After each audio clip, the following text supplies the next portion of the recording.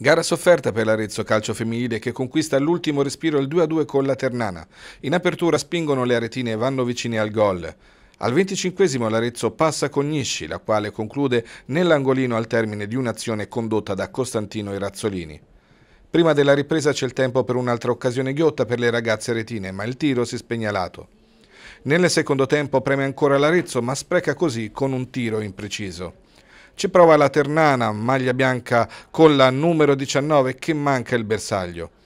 51esimo svarione difensivo clamoroso degli Amaranto che peggiorano la cosa con un evidente fallo in area di Ferretti, calcio di rigore ed e gol di Copia, 1-1.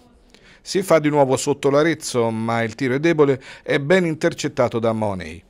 A tre minuti dal termine arriva la doccia fredda per l'Arezzo, fallo di mano in area di Ceccarelli e di nuovo rigore e dagli 11 metri ancora Copia non sbaglia per l'1-2.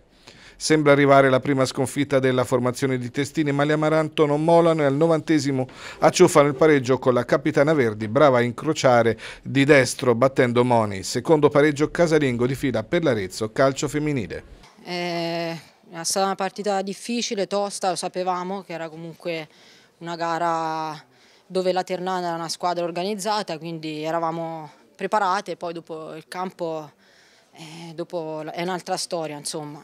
L'abbiamo riagguantata all'ultimo, quindi il punto ci sta stretto perché comunque noi lottiamo tutte le domeniche per vincere, però prendiamo quello che viene oggi.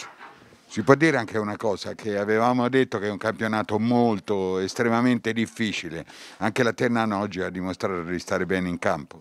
Esatto, non ci sono partite scontate perché da, dalla prima alle ultime sono squadre toste, agguerrite, messe bene, quindi nessuna partita ha il risultato scontato come era invece l'anno scorso dove alcune partite erano un po' più semplici, fra virgolette, questo è un campionato fortunatamente equilibrato perché è anche più divertente da giocare. Quindi.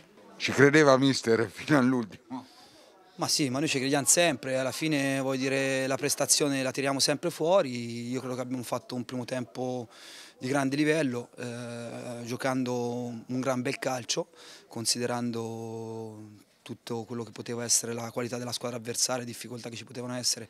Eh, il nostro portiere io non ricordo che abbia fatto interventi o parate eh, che uno possa dire ok ci hanno messo in difficoltà, quindi eh, la prestazione c'è stata, la, la, la, prova delle ragazze è stata una buona, una buona prova, abbiamo fatto degli errori, li abbiamo pagati a caro prezzo, spero che questo qui serva proprio a capire che eh, in questo campionato bisogna rimanere concentrati per i 90 minuti e per 30 partite perché purtroppo basta veramente poco per poi trovarsi a giocare delle partite come questa qua dove vanno recuperate poi a, oltre il novantesimo perché altrimenti avremmo perso.